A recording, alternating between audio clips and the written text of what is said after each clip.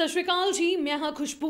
ਪੰਜਾਬ ਦੇ ਵਿੱਚ ਮਾਨਸੂਨ ਨੇ ਜੋ ਕਹਿਰ ਬਰਪਾਇਆ ਹੋਇਆ, ਉਸ ਤੋਂ ਬਾਅਦ ਹੁਣ ਇੱਕ ਵਾਰ ਫਿਰ ਤੋਂ ਅਲਰਟ ਜਾਰੀ ਕਰ ਦਿੱਤਾ ਗਿਆ। ਦੱਸਦੇ ਕਿ ਭਾਖੜਾ ਦਾ ਪਾਣੀ ਛੱਡਣ ਦੀ ਤਿਆਰੀ ਕੀਤੀ ਜਾ ਰਹੀ ਹੈ। 13 ਜੁਲਾਈ, ਯਾਨੀ ਕਿ ਕੱਲ ਦਾ ਸਮਾਂ ਨਿਰਧਾਰਿਤ ਕੀਤਾ ਗਿਆ। 13 ਜੁਲਾਈ ਨੂੰ ਕੱਲ ਕਿਸੇ ਵੀ ਵੇਲੇ ਪਾਣੀ ਛੱਡਿਆ ਜਾ ਸਕਦਾ ਹੈ ਤੇ ਅਲਰਟ ਜਾਰੀ ਕਰ ਦਿੱਤਾ ਗਿਆ ਮੈਨੇਜਮੈਂਟ ਬੋਰਡ ਦੇ ਵੱਲੋਂ ਰਿਟਨ ਇਹ ਅਲਰਟ ਜਾਰੀ ਕੀਤਾ ਗਿਆ ਤੇ ਜੋ ਲੋਕ ਆਲੇ ਦੁਆਲੇ ਦੇ ਖੇਤਰਾਂ ਦੇ ਵਿੱਚ ਜੋ ਲੋਕ ਰਹਿ ਰਹੇ ਨੇ, ਪਿੰਡਾਂ ਦੇ ਵਿੱਚ ਜੋ ਲੋਕ ਰਹਿ ਰਹੇ ਨੇ, ਉਹਨਾਂ ਨੂੰ ਸੁਰੱਖਿਅਤ ਥਾਵਾਂ ਤੇ ਜਾਣ ਦੀ ਸਲਾਹ ਦਿੱਤੀ ਗਈ ਹੈ। ਪਿੰਡ ਖਾਲੀ ਕਰਨ ਦੇ ਲਈ ਵੀ ਕਹਿ ਦਿੱਤਾ ਗਿਆ। ਪੰਜਾਬ ਸਰਕਾਰ ਨੇ ਭਾਖੜਾ ਡੈਮ ਦਾ ਪਾਣੀ ਛੱਡਣ ਦੀ ਤਿਆਰੀ ਕਰ ਲਈ ਹੈ। ਅਗਲੇ 24 ਘੰਟਿਆਂ ਦੇ ਵਿੱਚ ਕਿਸੇ ਵੀ ਵੇਲੇ ਡੈਮ ਤੋਂ ਪਾਣੀ ਛੱਡਿਆ ਜਾ ਸਕਦਾ ਹੈ। ਤਾਂ ਨਦੀਆਂ ਨਾਲੇ ਅਤੇ ਦਰਿਆਵਾਂ ਦੇ ਆਲੇ ਦੁਆਲੇ ਰਹਿਣ ਵਾਲੇ ਲੋਕਾਂ ਨੂੰ ਸਤਰਕ ਰਹਿਣ ਦੇ ਲਈ ਵੀ ਸਲਾਹ ਦਿੱਤੀ ਗਈ ਹੈ। ਭਾਖੜਾ ਪ੍ਰਬੰਧਨ ਬੋਰਡ ਵੱਲੋਂ ਜਾਰੀ ਆંકੜਿਆਂ ਦੇ ਵਿੱਚ ਦੱਸਿਆ ਗਿਆ ਕਿ ਭਾਖੜਾ ਦੇ ਵਿੱਚ ਇਸ ਵੇਲੇ 1629 ਅ, ਫੀਟ ਪਾਣੀ ਹੈ ਜੋ ਖਤਰੇ ਦੇ ਨਿਸ਼ਾਨ ਤੋਂ 52 ਫੁੱਟ ਨੀਚੇ ਹੈ,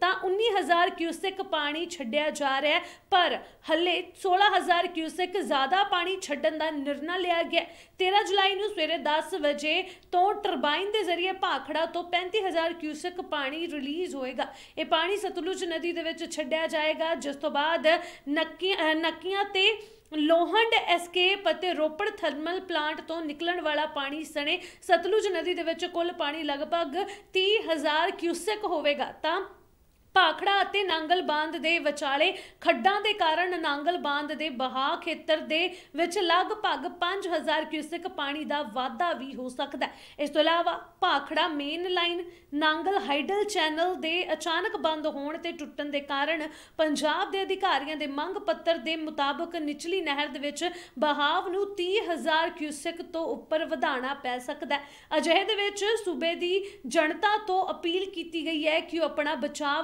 ਕਰਨ ਜਿੰਨਾ ਜਲਦੀ ਹੋ ਸਕੇ ਸੁਰੱਖਿਅਤ ਥਾਵਾਂ ਤੇ ਚਲੇ ਜਾਣੇ। ਅਪੀਲ ਕੀਤੀ ਗਈ ਹੈ। ਰਿਟਨ ਦੇ ਵਿੱਚ ਲੈਟਰ ਇਸ਼ੂ ਕੀਤਾ ਗਿਆ ਤਾਂ ਕੱਲ ਦਾ ਸਮਾਂ 10 ਵਜੇ ਤੋਂ ਲੈ ਕੇ ਕਿਸੇ ਵੀ ਸਮੇਂ ਪਾਣੀ ਜੋ ਹੈ ਛੱਡਿਆ ਜਾਏਗਾ। ਤਾਂ ਜੇਕਰ ਗੱਲ ਕੀਤੀ ਜਾਏ ਬੀਤੇ ਕੁਝ ਦਿਨਾਂ ਦੀ ਤਾਂ ਜਿਸ ਤਰੀਕੇ ਦੇ ਨਾਲ ਮੀਂਹ ਨੇ ਆਪਣਾ ਕਹਿਰ ਬਰਪਾਇਆ ਹੋਇਆ ਤਾਂ ਪੰਜਾਬ ਦੇ ਕੋਨੇ-ਕੋਨੇ ਦੇ ਵਿੱਚ ਪਾਣੀ ਹੈ। ਤਾਂ ਪੰਜਾਬ ਤੋਂ ਇਲਾਵਾ ਪੂਰੇ ਹਿਮਾਚਲ ਦੇ ਵਿੱਚ ਦਿੱਲੀ ਦੇ ਵਿੱਚ, ਬੰਬੇ ਦੇ ਵਿੱਚ ਹਰ ਥਾਂ ਤੇ ਅਲਰਟ ਜਾਰੀ ਕੀਤਾ ਗਿਆ ਤਾਂ ਕਈ ਥਾਵਾਂ ਤੇ ਬੰਨ ਟੁੱਟ ਗਏ ਨੇ। ਕਈ ਥਾਵਾਂ ਤੇ ਮੰਦਭਾਗੀ ਘਟਨਾਵਾਂ ਵੀ ਵਾਪਰੀਆਂ ਨੇ, ਤਾਂ ਲੋਕ ਪਾਣੀ ਦੇ ਵਿੱਚ ਫਸੇ ਹੋਏ ਨੇ। ਚੰਡੀਗੜ੍ਹ ਦੇ ਵਿੱਚ ਟਰਾਈ ਸਿਟੀ ਦੇ ਵਿੱਚੋਂ ਵੀ ਅਜਿਹੀਆਂ ਤਸਵੀਰਾਂ ਹੀ ਸਾਹਮਣੇ ਆਈਆਂ ਸੀ। ਤਾਂ ਰੈਸਕਿਊ ਆਪਰੇਸ਼ਨ ਲਗਾਤਾਰ ਜੋ ਹੈ ਜਾਰੀ ਕੀਤੇ ਗਏ ਸੀ। ਤਾਂ ਹੁਣ ਜੋ ਹੈ ਪ੍ਰਸ਼ਾਸਨ ਦੇ ਵੱਲੋਂ ਭਾਖੜਾ ਪ੍ਰਬੰਧਨ ਬੋਰਡ ਦੇ ਵੱਲੋਂ ਇੱਕ ਜੋ ਹੈ ਲੈਟਰ ਜਾਰੀ ਕਰ ਦਿੱਤਾ ਗਿਆ। ਦੱਸਿਆ ਗਿਆ ਕਿ ਕੱਲ ਪਾਣੀ ਛੱਡਿਆ ਜਾਏਗਾ। ਤਾਂ ਆਲੇ ਦੁਆਲੇ ਦੇ ਜਿੰਨੇ ਵੀ ਲੋਕ, ਪਿੰਡਾਂ ਦੇ ਵਿੱਚ ਜਿੰਨੇ ਵੀ ਲੋਕ ਰਹਿੰਦੇ ਨੇ, ਉਹਨਾਂ ਨੂੰ ਪਿੰਡ ਖਾਲੀ ਕਰਨ ਦੀ ਸਲਾਹ ਦਿੱਤੀ ਗਈ ਹੈ। ਤਾਂ ਤੇ ਹੋਰ ਜੋ ਆਲੇ ਦੁਆਲੇ ਲੋਕ ਰਹਿੰਦੇ ਨੇ, ਉਹਨਾਂ ਨੂੰ ਸੁਰੱਖਿਅਤ ਥਾਵਾਂ ਤੇ ਜਾਣ ਦਾ ਕਹਿ ਦਿੱਤਾ ਗਿਆ ਹੈ। ਤੇ ਇਹ ਵੀ ਕਿਹਾ ਗਿਆ ਕਿ ਜੋ ਲੋਕ ਨੇ ਆਲੇ ਦੁਆਲੇ ਰਹਿੰਦੇ ਨੇ, ਉਹ ਕੁਝ ਸਮੇਂ ਲਈ ਚਾਹੇ ਖਾਲੀ ਕਰ ਦੇਣ, ਪਰ ਇਹ ਥਾਵਾਂ ਖਾਲੀ ਕਰ ਦੇਣ ਕਿਉਂਕਿ ਕੱਲ ਭਾਖੜਾ ਦੇ ਜੋ ਹੈ ਪਾਣੀ ਨੂੰ ਛੱਡਿਆ ਜਾਏਗਾ 16000 ਕਿਊਸਿਕ ਪਾਣੀ ਛੱਡਿਆ ਜਾਏਗਾ ਜੋ ਕਿ ਸਾਰਾ ਮਿਲਾ ਕੇ ਅ, 30000 ਕਿਊਸਿਕ ਹੋਵੇਗਾ ਜਿਸ ਦੇ ਨਾਲ ਜੇਕਰ ਸਥਿਤੀ ਅੰਡਰ ਕੰਟਰੋਲ ਨਹੀਂ ਹੁੰਦੀ ਤਾਂ ਕੋਈ ਘਟਨਾ ਵੀ ਵਾਪਰ ਸਕਦੀ ਹੈ ਜਿਸ ਦੇ ਲਈ ਪਹਿਲਾਂ ਹੀ ਕਹਿ ਦਿੱਤਾ ਗਿਆ ਕਿ ਆਲੇ ਦੁਆਲੇ ਦੇ ਖੇਤਰ ਖਾਲੀ ਕਰ ਦਿੱਤੇ ਜਾਣ।